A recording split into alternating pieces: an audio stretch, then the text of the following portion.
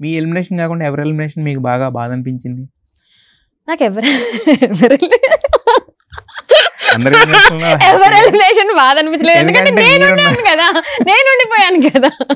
So మీరు observe చేస్తే ఎవరు ఎలిమినేట్ అయినప్పుడు నేను ఏడవ లేదు బికాస్ నేను అది ఎడవలేదు అంటే ఏడవ లేదు ఒక్క. లోబో ఎలిమినేషన్ అప్పుడు నేను చాలా ఫీల్ అయ్యాను. ఎందుకో కోడిగుడ్డు ఇచ్చాడన్న మీకు? కోడిగుడ్డు ఇవ్వక ముందు కూడా మీరు అబ్జర్వ్ చేస్తే తను ఎలిమినేట్ అయ్యేటప్పుడు నేను లోబో సైడ్ ఉన్నాను.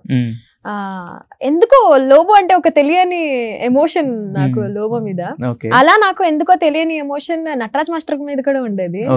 ఒక చిన్న అరే అంటే సింపతి యాంగిల్ అనుకోవచ్చా? లేకపోతే గుడ్ వైబ్ అనుకోవచ్చా? గుడ్ వైబే డెఫినెట్లీ. అండ్ వాళ్ళు ఇన్నోసెంట్ అనిపిస్తారు నాకు. చాలా ఇన్నోసెంట్ అనిపిస్తారు.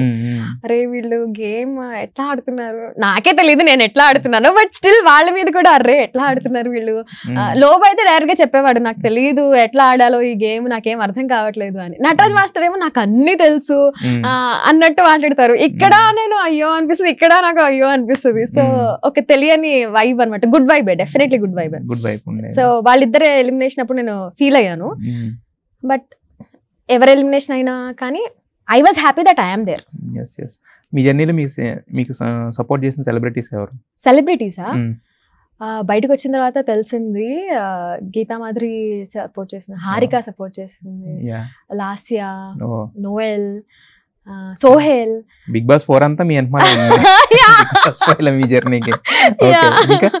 ఇంకా మాధవి లత గారు. ఇంకా మాధవి లత సన్నీని కూడా ఫుల్ సపోర్ట్ చేశారు. ఇంకా రివ్యూవర్స్ చాలా మంది. చాలా మంది రివ్యూవర్స్ ఐ వాజ్ షాక్డ్ తెలుగులో టైం పాస్ అని ఒక ఛానల్ ఉంది. వాళ్ళైతే నాకు లైవ్లో కూడా కూర్చోపెట్టి మాట్లాడించారు. ఒక్కొక్కళ్ళు వాళ్ళ లిసనర్స్ మాట్లాడిన విధానం నాకు touch me so much wow నేను ఇంత మందిని ఇన్స్పైర్ చేశానా? అని. చాలా నా మీద నాకు మంచి ఒపీనియన్ మంచి ఫీలింగ్ వచ్చింది. I. Felt really good yeah అదే మీరు లోపల ఉన్నప్పుడు మీకు తెలిసి ఉండదు కదా బయట నెగిటివిటీ ఉంటుందా పాజిటివిటీ ఉంటుందా? మీకు. పాజిటివిటీ ఉందని ఎప్పుడు రిలీజ్ అయ్యారు? బయటకు వచ్చిన తర్వాత? బయటకు వచ్చిన తర్వాత అందరూ చాలా బాగా ఆడారు చాలా చాలా బాగా ఆడారు. ఇంకొక. స్టెప్ మీరు టాప్ ఫైవ్లో ఉండాల్సింది టాప్ ఫైవ్లో ఉండాల్సింది. అందరూ అదే అంటున్నారు. మీరు. టాప్ ఫైవ్లో వర్త్ మీరు మీరు డిజర్వింగ్ మీరు టాప్ ఫైవ్లో ఉంటారని అనుకున్నారు అందరూ. ఎస్ ఎస్ అంటూ ఉంటే నాకు చాలా మంచిగా అనిపించింది. నేను. బయటకు వచ్చిన తర్వాత అమ్మ నాన్న ఫేస్ పైన చూసిన proud feeling I can never forget బా వాళ్ళు కానీ నా కూతురు కానీ మా. హస్బెండ్ మా అక్కలు ఫ్యామిలీ మెంబర్స్ అందరూ ఫుల్ ప్రౌడ్గా ఒక ఒక స్మైల్ ఉండింది. చాలా ఈ జీవితానికి చాలు అనిపించింది.